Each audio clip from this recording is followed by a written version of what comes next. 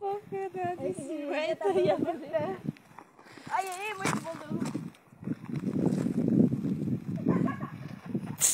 maktablarni ko'rsatyapti har kuni kelyapti. Maktab o'quvchilari o'sha sakkizinchimi to'qqizinchi xudo urganlar bu bilmayman kim tarbiya bergan bularga sinfga kirib partalarni tepib stollarni tepib ag'darib yana ishqiy munosabatlarni oshkora qilyapti. Kecha bir maktabni sinfida bir yigit bilan bir qiz yigit kirib kelyaptida bir qizni bo'yi yetgan o'sha maktab o'quvchisi borib quchoqlasa endi musulmon qizni nima qilish kerak?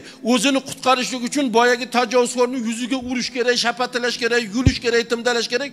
U nima qilyapti? O'sha shilqimni yelkasiga osilyaptida bo'ynini osilib yelkasidan silyaptida mana qur'ondan uzoqlashlikning kasofati mana qur'on o'qitmaslikni oqibati nimalarga olib boradi? Qaysi bir joyda ko'rdingiz qur'on o'qigan bolani shunaqa ish qilib yurganini?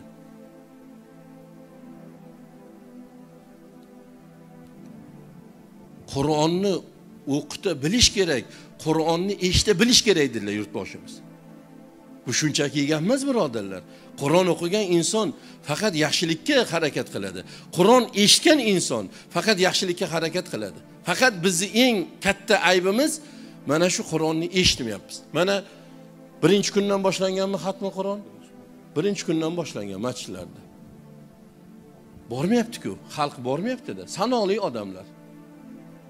Borib turib xatmi qur'on yigirma pora e, yigirma rakat qur'on pora bir porayu bir betmi shunaqa o'qilyapti to'qqizda boshlanyapti o'n beshta kam o'n bir o'nta kam o'n birda tugayapti. Boring o'n birda ikki soat borib eshitmayaptida qur'oni karimni ay oyoq o'lgur oyoq o'lgur. San yaramayapsan mani ko'tara olmayapsan mayli lekin mana shu yerda o'tirib eshit deyayotgani yo'qda shuncha gunohlarni qilding. Ana u yerga bording mana u yerga bording yugurding yelding. Endi mana ishdan chiqding. Endi loqal umringni oxirida bir qur'on eshit o'tir deb borib o'tirib ham eshitayotgani yo'qda ko'pchilik. Ey birodarlar o'sha masjidlarda qur'on o'qib berayotgan qorilar ham osmondan tushgan emas. U kimnidir gulday farzandi u. Bir paytlar hamma bolalikni yoshligidan kechib otani o'rnida qo'ynida onani qo'rnida yegani oldida yemagani oldida yeb ichib yotgani yo'q. Erkalikni qilib u o'sha hujrani o'sha po'panay bosgan qotgan nonini yeb o'sha joyda iligan ovqatini yeb ichib mayli o'shani qur'onni endi bugunchi hamma dunyoning eng ne'matlari shularni oldida. Keling qora aka keling marhamat mana buni oling keling o'tiring keling qora aka hamma papalab ketida yugurib yuribdi. Nega? Nafsidan kechdi rohatdan kechdi to'yib uyqudan kechdi. Ana endi bugun xudo xudo taolosi ana shu narsalarni rohatga aylantirib berdi. Yosh yosh bolalar odamlar izzat qilib ketdi yelib yugurib yuribdiyu. Nega? Bu kalomullohga bo'lgan xizmat hech qachon ikki dunyoda zoyi bo'lmaydi birodarlar. Kalomullohni o'qitgan inson kalomullohni bolasiga o'qitgan inson ikki dunyoda aziz bo'ladi. Mana qancha qancha joylarga boryapmiz. O'g'li xatmiga o'tyapti. Xatmi qur'on tugagan kuni imom domlalar o'sha qorini otasini tepasiga to'n kiygizyapti.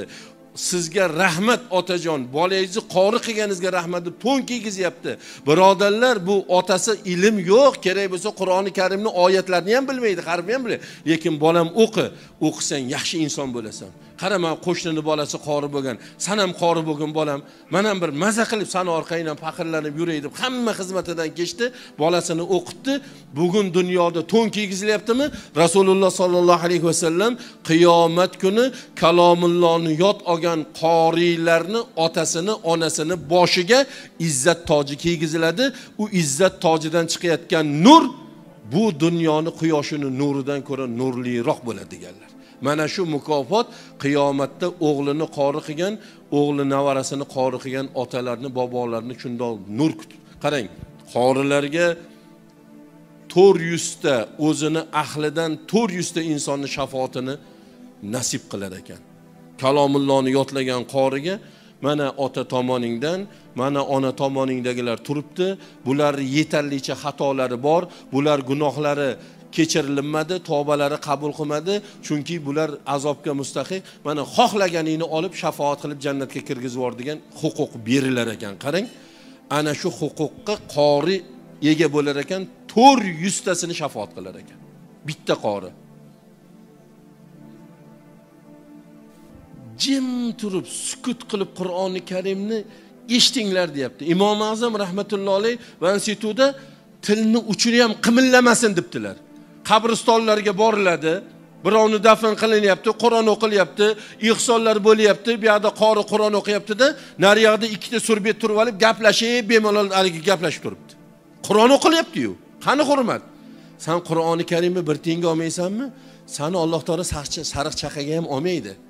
Voy bir podshoni gapi gapirib turganda podshoni farmoni xalqqa yetkazilib turganda o'sha zaldagilarni birortasi gapirib qo'ysinchi gapirib o'tirsinchi boshiga nima balo yog'ar ekan?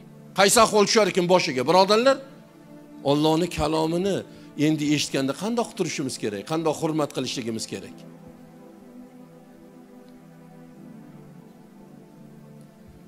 Shamsiddin qori pochcham o'n yoshlardami bolaliklarda qori bo'lganlar. Yig'lab gapirib beradilar ustozimiz alloh rahmat qilsin namanganni eng zabardast zabardast olimlardan bo'lgan olloh rahmat qilsin. Shu soqollarni nishurgan bo'yi chiqqan ekanlarda tig' urmagan ekanlar soqollariga qarang. Shunaqa zo'r haligi tarbiya topgan zot bo'lganlar. Shu zot kechqurun deydi ustoznikiga borib qur'ondan dars olgani boraman deydi. Ko'chada patrullar yurardi. Kechqurun hech kimni yurg'izmas edi. Pana pasqam yo'llar bilan borardimda deydi.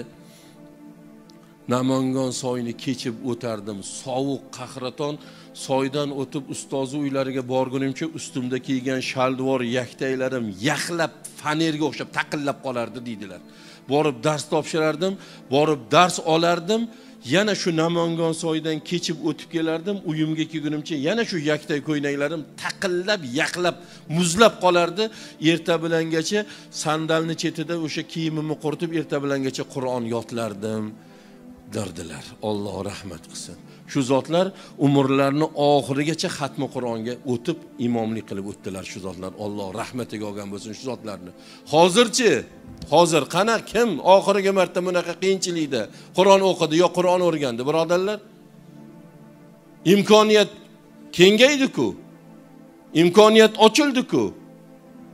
Mana qorilar qancha qancha qorilar chiqyapti chiqdi chiqdi xudo xohlasa. Qancha qancha? Va bir davrlarda o'sha to'qsoninchi to'qson ikkinchi yillarda ham birodarlar yurtimizga xatmi qur'on o'qib berishlik uchun xorijdan qorilar chaqirtirilgan. Xorijdan misrlardan qorilar kelib xatm qur'on o'qib berilgan. Hozir alhamdulillah o'zimizni yurtda qorilarga navbat tegmayapti. Joy yetishmayapti xatmga o'tishga. Qorilarni ko'pligidan alhamdulillah. Qur'on o'qigan boladan hech qachon yomonlik chiqmaydi dedilar hech qachon yomonlik chiqmaydi.